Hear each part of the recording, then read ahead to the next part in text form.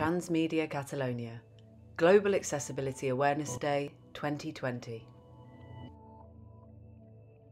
Impact Project Logo. Estel-la Oncins, Impact Quality Manager.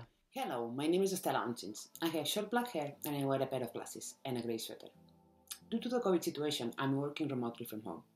I'm sitting at the desk of my home office and I'm recording myself with a computer and I'm holding a mobile phone with my right hand.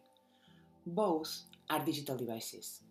My desk is full of papers that, before being printed, were digital versions. In our current information society, we produce a huge amount of digital documents daily words, PDFs, PPTs, emails, posts on social media, mobile messages, all them are digital documents and we structure them visually so we can read and understand them.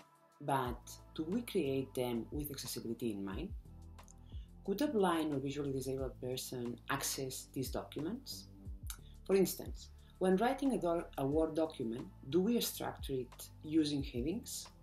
Which is a function that most of the software programs allow us and is crucial for people using a screen reader to know his or her position in the document. When posting an image on a web page or a social media, do we include an alt text with a description of the image? All these and other accessibility measures are essential for some and useful for all, because we're all getting old and we will most probably end up developing some type of disability. So let's keep accessibility in mind.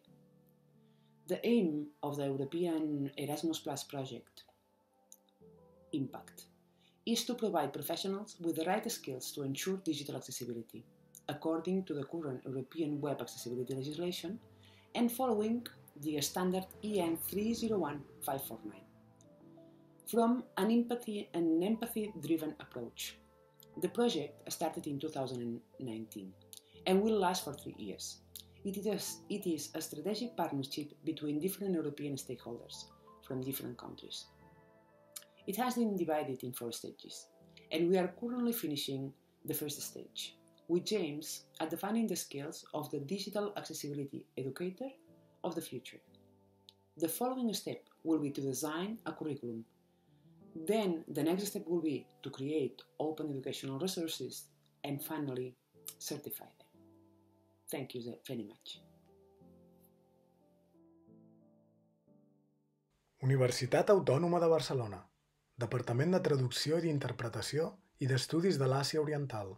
Transmedia Catalonia is a research group funded by Secretaria de Universitats i Recerca del Departament d'Empresa i Coneixement de la Generalitat de Catalunya under the SGR funding scheme, reference code 2017 SGR 113. The Impact Project has received funding from the European Union under the programme Erasmus and Strategic Partnerships Grant Agreement number 2019 1 FR01 KA 204062381. This work is licensed under a Creative Commons Attribution Non Commercial No Derivatives 4.0 International.